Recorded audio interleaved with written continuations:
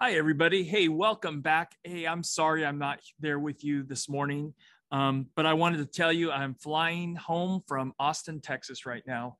Um, so that's why I can't be with you today. Um, sure wish I was. But um, what I want to do today is just kind of go over um, some of the um, stuff we were doing right before break. Okay. And one of them was finding extrema. Okay. So let's just jump in and start talking about this. Okay. So, first example is this determine the absolute minimum value of the function f shown above on the interval negative 9 to 9. So it's an open interval, so we're not including the endpoints, okay? And if there is no absolute minimum, then submit an empty set, okay? So your, your, your problem set is gonna come from delta math today, okay? All right, so if we want to determine the absolute minimum, so basically what we're looking at is what's the lowest y value, right? What's the smallest y value overall on this entire graph? And it's going to happen right here. And that minimum, absolute minimum value is going to be negative seven. So we have an absolute minimum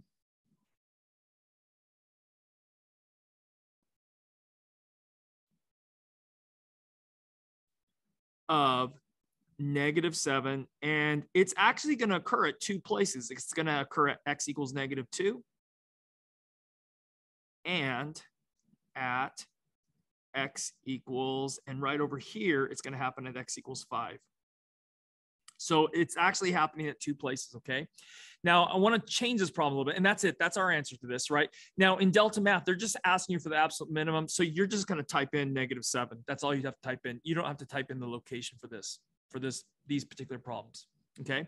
But I do want to talk about this. What about an absolute maximum? Does this graph of f have an absolute maximum?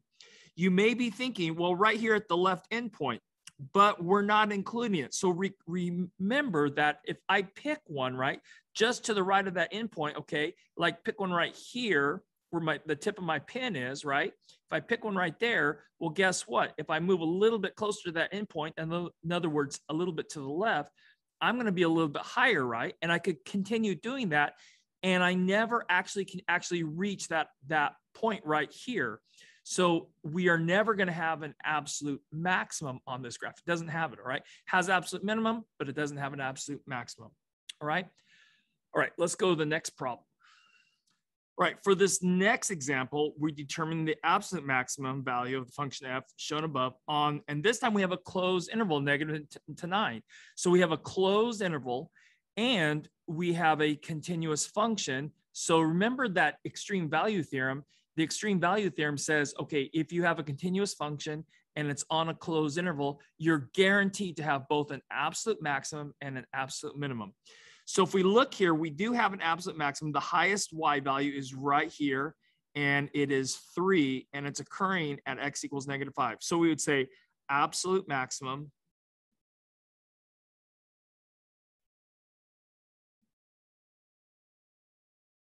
of, and it would be three, and it's occurring at x equals negative five it's not this one's not an absolute maximum because it's not the highest right it is it, if we we're going to see in just a little bit i'm to have some problems it's a relative maximum but it's not an absolute maximum right? remember remember relative is like in a little neighborhood of that point that's the biggest in that little neighborhood okay all right, so that's example two. Let's go on to example three. So this next example, okay, really is not calculus, but we're gonna have to learn how to read graphs like this, okay?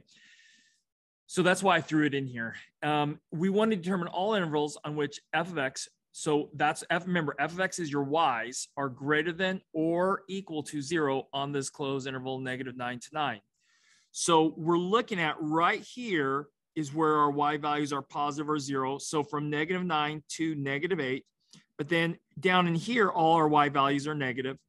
And then y values are zero at negative three, and then all the way they're going to be um, greater than zero all the way until positive nine. Okay, so f of x is greater than zero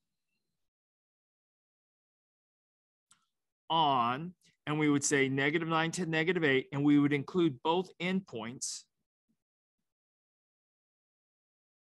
because we're also including where it's zero. That's why we're going to include the negative eight. And then also from negative three to positive nine. So we could write a union here and then negative three to positive nine, including. All right. If you wanted to use inequalities, it would look like this negative nine less than or equal to x less than or equal to negative eight or and then negative three less than or equal to x less than or equal to nine. So I think it's easier just to do the interval notation, but if you want to use the inequalities, go ahead, go right ahead, okay? All right, that's it for that. So for this next example, we want to determine all x values for which the graph of f has a relative maximum on the open interval. So this is looking at just a little little neighborhood and is it the largest value in that neighborhood, okay?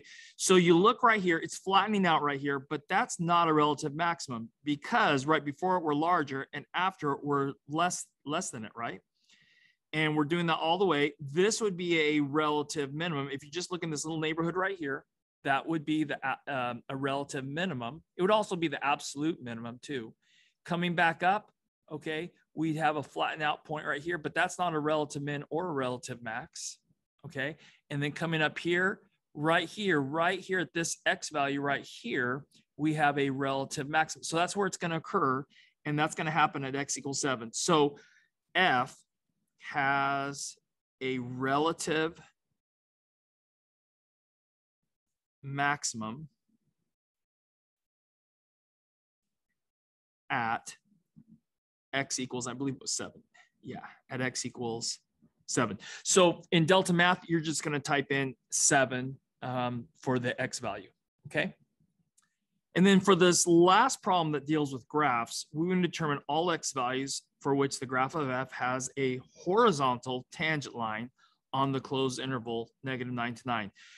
Okay, so we're going along and we look at all the tangent lines in here are, and we're looking for a tangent line, right? we're looking for a slope that's zero for the tangent line, right?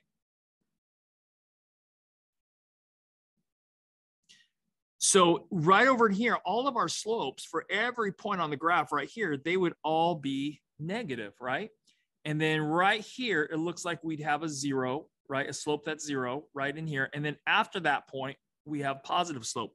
So it's happening right here at x equals negative five we would have a horizontal tangent there. So basically we're looking for hills and valleys, right? So we have a little valley right here and we're looking and right in here, all the slopes are positive. And then after this point right here, all the slopes are negative. Well, that would mean that we went from, from positive slopes to negative slopes. We would have had to have hit zero. So we also have one right here. And then we have another one right here at x equals 5. And then we look, and then right here, right here, we have another one. Okay, so determine all x values in which f has a horizontal tangent line on the closed interval. So f has a horizontal tangent line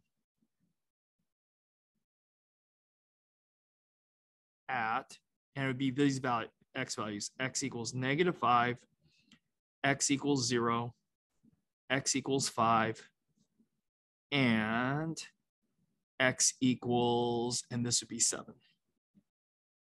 And we've talked about this before, so this shouldn't be a big deal, okay, either.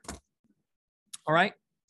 Okay, what if you're not given the graph and that's what the next example is going to involve is what if you're not given the graph you're just given the function okay so this next example given the function f of x equals x cubed plus 3x squared plus 3x minus 10 determine the absolute maximum value of f on the closed interval from negative 2 to 1 so we have a closed interval and this is a polynomial function and all polynomial functions are continuous. So f of x is continuous on the closed interval negative two to one. So because it's continuous by the extreme value theorem, we're guaranteed to have an absolute maximum and an absolute minimum, okay? So fx is continuous on negative two to one by the extreme value theorem, EVT, there there must be an absolute max and an absolute min.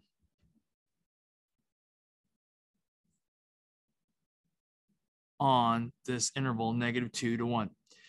Okay, so how do we go about finding it, right? This tells me I have it, but how do I find it, right? So recall that what we have to do here is we are going to have to take the derivative and we're gonna have to find the critical point. So that's the first step is find the derivative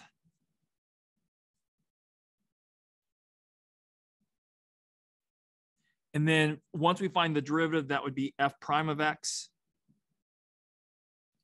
And the derivative of x cubed plus 3x squared plus 3x minus 10 would be 3x squared plus 6x plus 3. And then we want to find the critical numbers, critical points, okay? Find the critical values. There's a lot of different ways you can say that.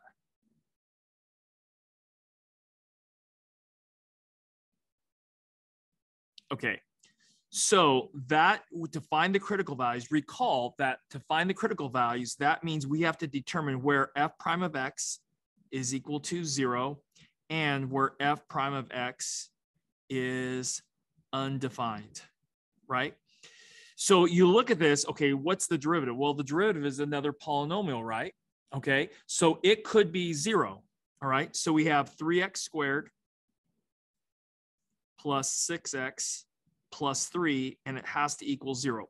And you need to look at this, okay? There's a GCF here, right? There's a GCF of 3. That's going to make your, our factoring a little bit easier, okay? So 3 times, and this becomes x squared plus 2x plus 1 equals 0. And then x squared plus 2x plus 1, that factors into x plus 1 and x plus 1. or x plus one squared if you wanted to go that far. Okay, but if you look at this, right, these are these are duplicate um, factors. So they're the same factors. So they're going to give you the same x value. So this is going to happen when x equals negative one. When x is negative one, that is going to cause the derivative to be zero. And negative one is in this interval, negative two to one, right? Now, since the derivative is a polynomial, or in particular, a quadratic, right? Because a quadratic is just a specific type of polynomial function, then that means f prime of x could never be undefined because this function, the derivative function, is defined for all x values because it's a parabola, okay? So this is never going to be undefined. So we don't even have to worry about that in this particular problem, okay? All right, so now what do we do? How do we find this absolute maximum value? Well, next is take the critical values and also take the endpoints and we're going to check them. Okay. So we're going to check critical points or critical values and endpoints. And what we're going to do is we're going to evaluate the function at those values. So we want to find f of negative 2. Now, why negative 2? Because that was the left endpoint. Then the critical point is at negative one. So that'd be f of negative one. And then the right endpoint is one. So we also want to find f of one. Now, whichever one of these is the largest one, that, sorry, that is going to be, okay, our absolute maximum. So remember, f of x is this x cubed, this function up here. Let me slide it down. Remember, our f of x is this x cubed plus 3x squared plus 3x minus 10, right? So that means f of negative 2 would be negative 2 cubed plus 3 times negative 2 squared plus 3 times negative 2 and then minus 10. So this would be when we cube negative 2, that would give you negative 8. When we square negative 2, that gives you 4 times 3 is plus 12 minus 6 and then minus 10. So this would be 4 minus 2, which is negative 2, and then minus 10, which is negative 12. And I'm just double checking my math on that. Negative 12. And then negative 1, that'd be negative 1 cubed plus three times negative one squared plus three times negative one minus 10. And this would give you negative one. This would give you plus three. This would give you minus three and then minus 10. And so these two are going to cancel out. So really you're left with negative 11. And then f of 1 would be 1 cubed plus 3 times 1 squared plus 3 times 1 minus 10. And that would be 1. And this would be plus 3. And then plus another 3. And then minus 10.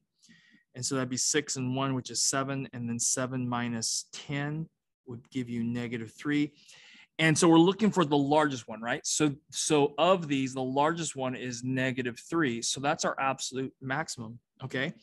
So f of x has, let me slide it up, has an absolute maximum of negative 3 at x equals 1. All right.